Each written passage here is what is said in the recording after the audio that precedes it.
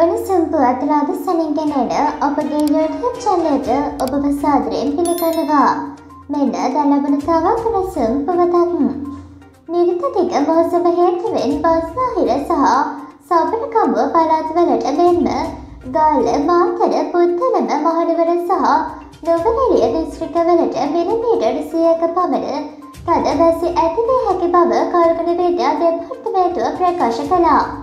අද පෙරවරු නමයතියෙන් අවසන් වූ ඉදිරි පැය විසි හතර තුළ මෙම වැසිතත්වය බලපැවැත්වනු ඇති පවයි එම දෙපාර්තමේන්තුව නිවේදනය කළේ.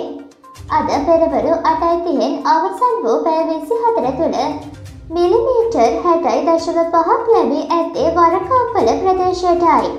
මෙවැනි සම්පුවත්ලාද සනින්දන ගැනීම සඳහා අපගේ YouTube චැනලය සබස්ක්‍රයිබ් කර බෙලයිකනය ප්‍රාත්මක කරන්න.